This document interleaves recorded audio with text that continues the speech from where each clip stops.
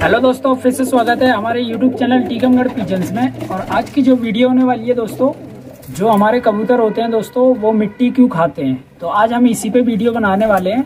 और इस वीडियो को पूरा देखना, जब भी आपको समझ आएगा कि हमारे कबूतर जो है मिट्टी क्यों खाते हैं। हमारे जो कबूतर मिट्टी खाते हैं, वो फ़ायदे के लिए खाते हैं या नुकसान के लिए खाते हैं तो आज हम इस वीडियो में यही जानेंगे।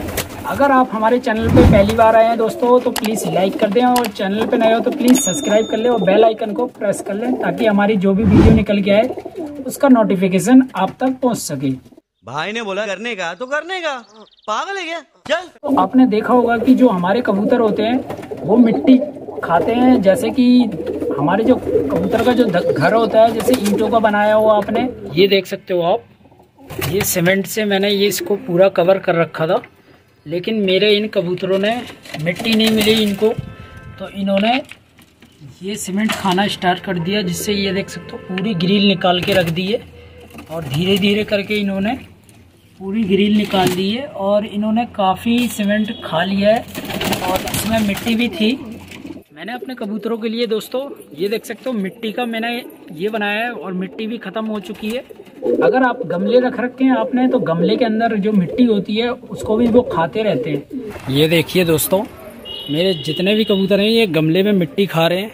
ये देख सकते हो ये मिट्टी खाने के लिए यहाँ पे आए हैं। ये देख सकते हो। तो इसके सबसे अच्छे फ़ायदे हैं कि हमारे कबूतर मिट्टी खाते हैं और आपको मिट्टी रखनी चाहिए अपने कबूतरों के लिए।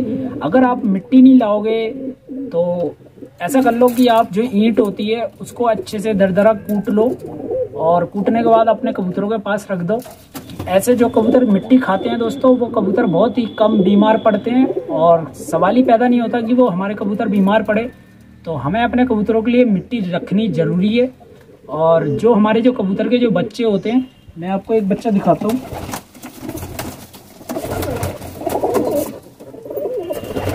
दोस्तों, ये देख सकते हो, ये जो मेरा कबूतर का बच्चा है और ये मिट्टी जो इसके, दोस्तों ये जो इसका पोटा होता है, ये कबूतर अगर इस मिट्टी खा के इसको अगर दाना दे रहा है तो इसका ये कभी बीमार नहीं होगा और ये बिल्कुल सुरक्षित रहेगा। आपने देखा होगा कि जो आपके कबूतर के बच्चे होते हैं वो बहुत ही जल्दी बड़े नहीं हो पाते और मर जाते हैं। किस कारण से मरते हैं? वो इसी कारण से क्योंकि आप अपने कबूतरों को मिट्टी नहीं देते। ठीक है? तो एक फ़ायदा ये है कि अगर हम अपने कबूतरों को मिट्टी देंगे तो हमारे कबूतर जो है मिट्टी खाएँगे। तो हमारे कबूतर जो है मिट्टी खा के अपने बच्चों को भी सुरक्षित रखेंगे और हमारे कबूतर भी बीमार नहीं पड़ेंगे। तो दोस्तों, आपको पता लग गया होगा कि कबूतर मिट्टी क्यों खाते हैं। मैंने अपने कबूतरों के लिए मिट्टी रख रखी है। आप भी अपने कबूतरों के लिए मिट्टी रख सकते हो, ताकि आपके कबूतर बिल्कुल ठीक रहे। और ये देख सकते हो, मेरे कबूतर सारे एक्टिव हैं, कोई भी बीमार नहीं है। तो आप भी दोस्तों अपने कबूतरों के लिए मिट्टी रख सकते हो। और बहुत ही अच्छा है। मिट्टी बहुत ही अच्छी होती है दोस्तों कबूतरों के लिए। अगर आप हमारी वीडियो पहली बार देख रहे हैं तो प्लीज़ लाइक कर दें और चैनल पर नए हो तो प्लीज़ सब्सक्राइब कर लें। दोस्तों मिलते हैं अगली नेक्स्ट वीडियो में। जब तक के लिए टेक केयर।